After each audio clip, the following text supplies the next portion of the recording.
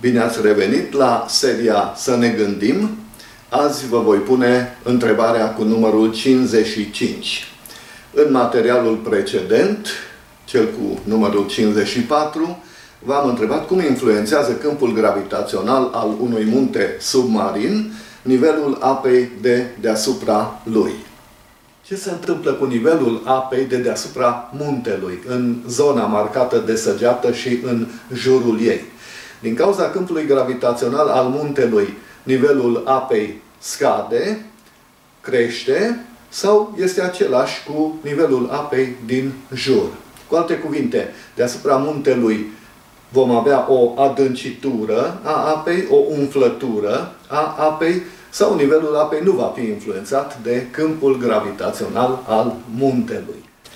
Ca să răspund la întrebare, voi face apel la un experiment mental care pentru a fi realizat practic ar pretinde niște aparate de precizie și de sensibilitate foarte, foarte mare, dar care ar putea fi realizat cu ajutorul tehnologiei de azi.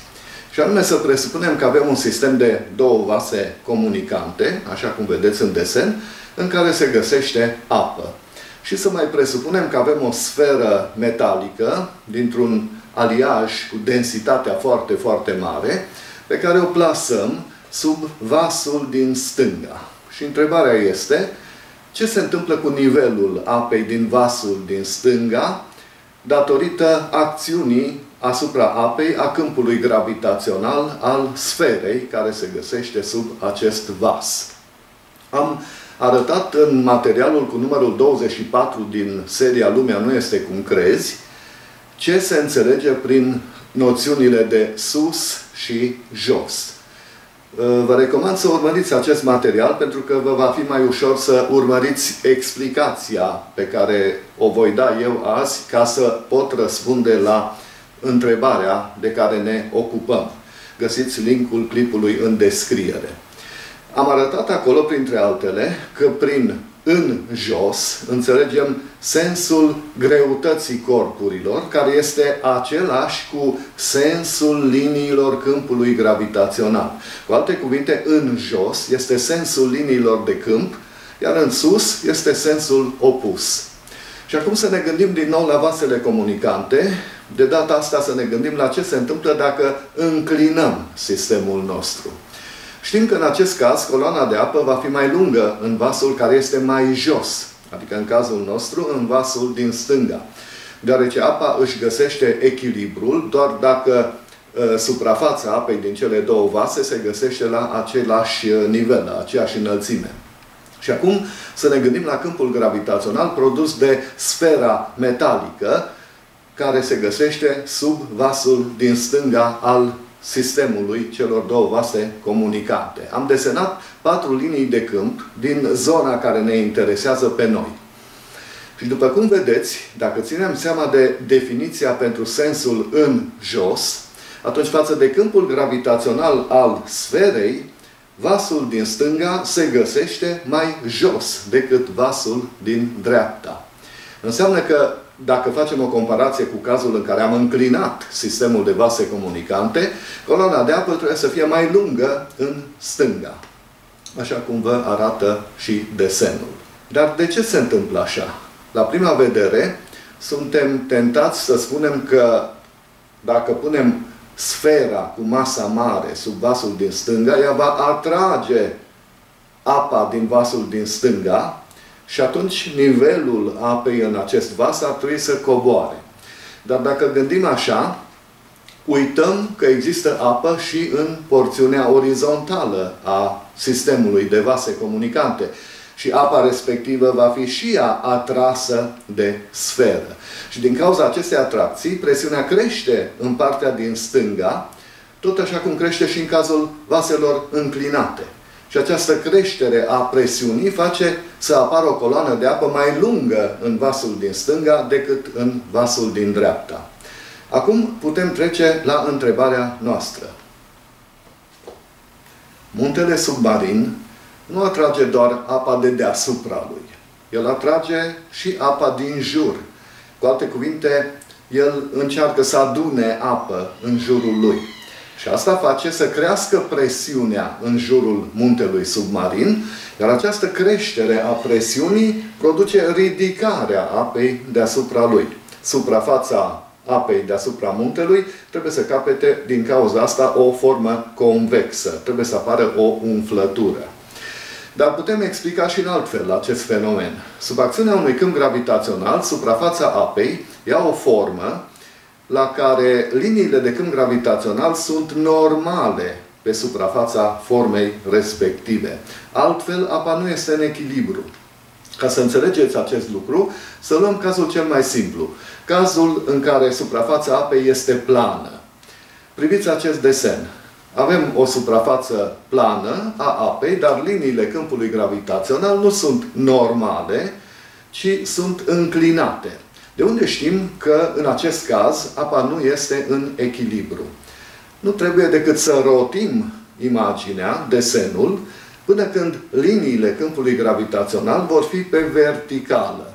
Adică așa cum sunt în poziția noastră normală. Și acum, dacă ne uităm la desen, înțelegem de ce apa nu este în echilibru așa. Pentru că suprafața ei este înclinată și ea va începe să curgă. Deci, pentru ca apa să fie în echilibru, liniile de câmp gravitațional trebuie să fie normale la suprafața ei.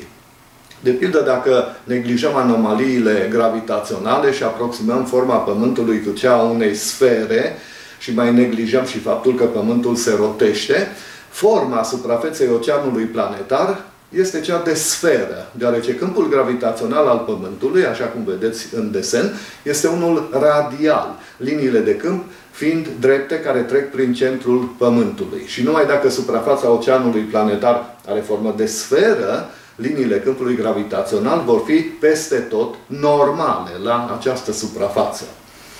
Dar după cum am arătat în clipul precedent, un munte curbează liniile câmpului gravitațional al Pământului, le curbează spre el.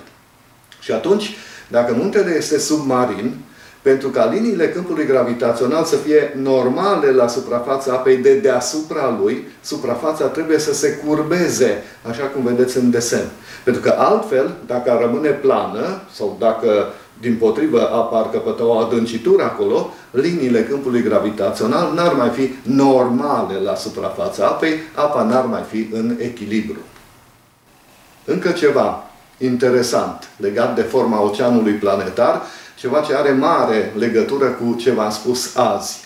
Din cauza câmpului gravitațional al continentelor, care atrag apa spre ele, forma oceanului planetar se abate de la cea de sferă, sau mai bine zis de elipsoid de rotație, pe care ar avea-o dacă n-ar exista continente.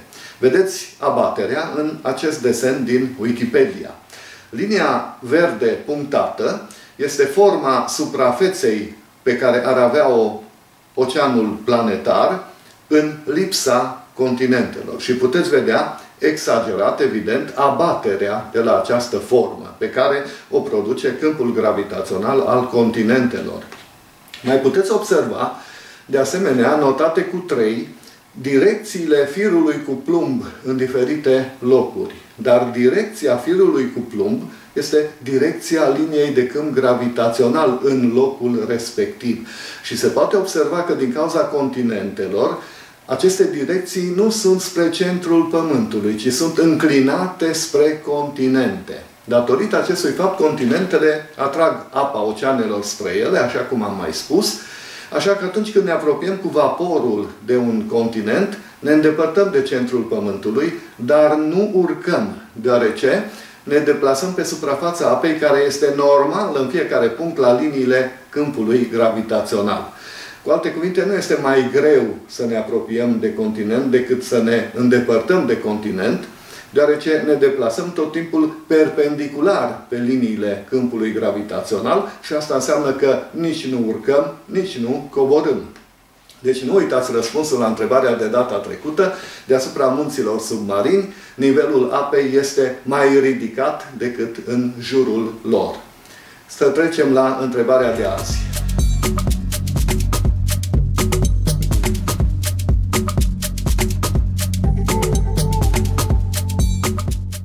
Azi vă voi întreba ceva despre un sistem de scripeți, cel pe care îl vedeți în desen. După cum vedeți, sunt trei scripeți mici și unul mare și un fir care trece peste ei. Trebuie să știți câteva lucruri ca să puteți răspunde la întrebare. 1. Pe suportul albastru din desen se găsește o greutate mare pentru cântar. De acum încolo îi voi spune greutatea marcată. 2. Scripeții au și ei greutăți, dar greutățile lor sunt foarte mici în comparație cu greutatea marcată. 3. Scripeții se rotesc foarte ușor, aproape fără frecare. 4. Legătura dintre greutatea marcată și scripetele mare este rigidă. Cu alte cuvinte, scripetele mare nu se poate nici îndepărta și nici apropia de greutatea marcată. 5. Firul care trece peste scripeți are capătul din dreapta, așa cum vedeți în desen, legat, prins de dușumea, iar capătul din stânga este prins de axul scripetelui mic din mijloc. Și acum două întrebări. Prima, ce se întâmplă dacă trag de partea din dreapta a firului, cea legată de dușumea? Deci prind de acel fir și trag în jos de el. Ce se întâmplă în acest caz? A doua întrebare. Ce se întâmplă dacă scoatem suportul albastru pe care stă greutatea marcată? Adică dacă ajungem în această situație pe care o vedeți acum în desen. Mulțumesc pentru atenție, aștept răspunsurile voastre ca de obicei. La revedere!